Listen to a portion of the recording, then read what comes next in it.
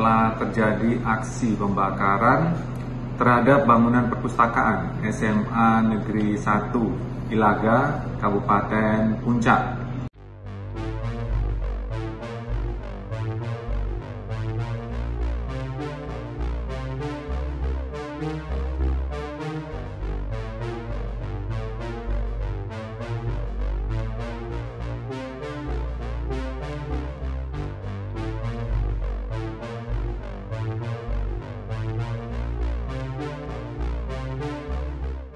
Bahwa benar pada hari Kamis tanggal 17 Agustus 2023 sekitar pukul 13 lebih 28 waktu Indonesia bagian timur telah terjadi aksi pembakaran terhadap bangunan perpustakaan SMA Negeri 1 Ilaga, Kabupaten Puncak, Papua Tengah.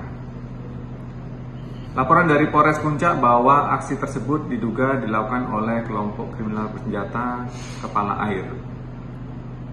Laporan informasi di HT jajaran TNI Polri Ilaga direspon oleh aparat keamanan gabungan TNI Polri menuju ke TKP.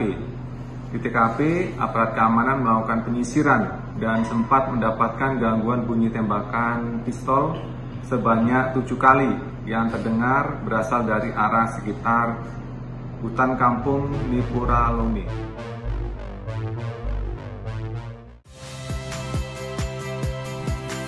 Saya Viliria Bella. Saksikan program-program Kompas TV melalui siaran digital, pay TV, dan media streaming lainnya. Kompas TV, independen, terpercaya.